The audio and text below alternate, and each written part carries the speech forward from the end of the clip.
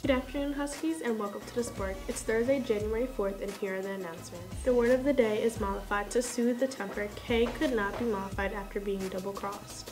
The Key Club Kindness quote of the day is from actor Richard Gere. We all have in common in our appreciation of kindness and compassion. All religions have this.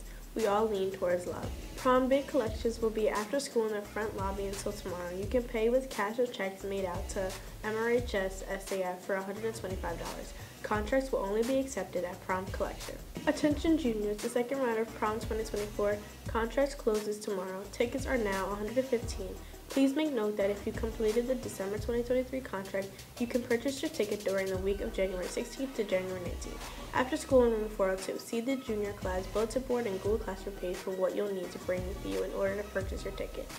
There's a sophomore class council meeting today right after school in room 403. There's a yearbook meeting today in room 611 at 2:15 p.m. Come out and support the sophomore class council at Chipotle in Homedale on Tuesday, January 9th from 4 to 8 p.m.